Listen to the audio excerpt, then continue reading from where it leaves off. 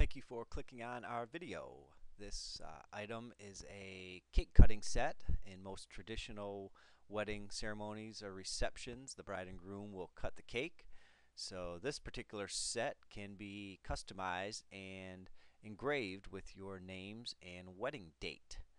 So be sure to click on the description of this video for a link to order this particular set and to see others that are available. Thanks for watching.